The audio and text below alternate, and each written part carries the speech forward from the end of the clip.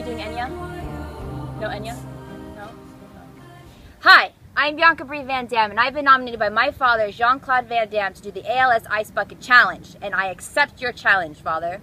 Before I get drowned in ice, I do want to say that I want to nominate uh, the Expendables cast, Arnold Schwarzenegger, Sylvester Stallone, and the next big action star that's rising up coming from Orange is the New Black, Alexander Wraith.